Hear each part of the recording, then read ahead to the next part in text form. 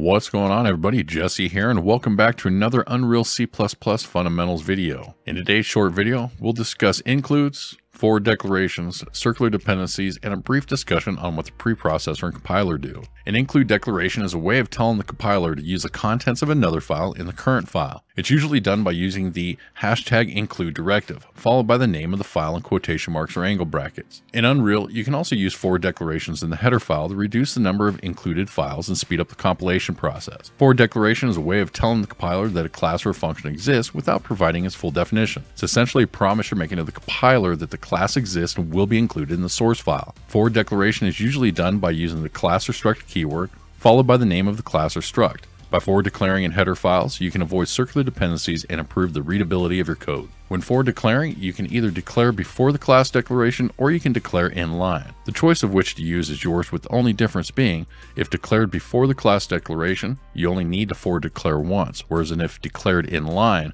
only a declared line is valid. For simplicity, I prefer my forward declarations outside of the class specifier. A circular dependency occurs when two or more files depend on each other, either directly or indirectly, creating a loop that cannot be resolved by the compiler. For example, if file aclass.h includes file bclass.h, and file bclass.h includes file aclass.h, then there is a circular dependency between the two files. Forward declaration in your header files is a way to avoid circular dependencies because forward declarations tell the compiler that a certain name exists, but it does not provide its full definition. The preprocessor is a program that processes the source code before it's compiled, while the compiler is a program that translates the source code into machine code that can be executed by the computer. The preprocessor performs tasks such as header file inclusion, macro expansion, and conditional compilations. The compiler performs tasks such as lexical syntax and semantic analysis, intermediate code generation, code optimization, and code generation and linking.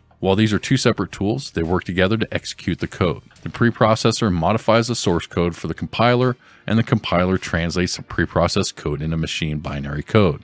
When the preprocessor is including the included header files, it comes across the include guards or the pragma once directive, which prevents inclusion of the same file. For example, if class A includes class B and class C, while class B also includes class C, the include guards and the pragma once directive prevent class C from being included multiple times in class A file. Hope you guys found this quick video useful. If you did, consider smashing that like button. If you're new to the channel, consider subscribing while you're down there liking it and hit that bell to be notified whenever a new video drops. If you have any questions or comments, you can leave them down below or consider joining the Discord channel to get personal assistance by me as well as the community. Again, thanks for watching and until the next one, peace.